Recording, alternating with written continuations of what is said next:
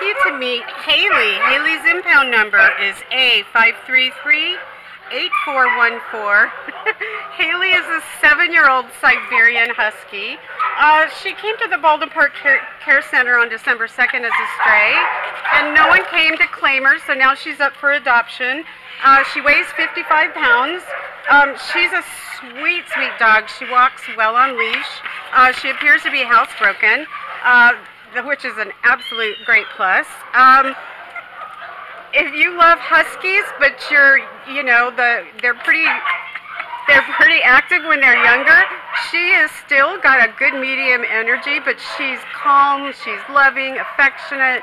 Um, she would be such a great companion for anyone who loves huskies. Um, is there anything else you can tell us about her, Jeanette? Well, you know, with this breed, you got to exercise them daily, and she's when you exercise her, but she needs daily exercise. Right, even a even a good walk, and um, of course, huskies need to be brushed um, on a regular basis to keep them looking their best. She's got a beautiful, beautiful lush coat, and look at those gorgeous brown eyes. They're so pretty.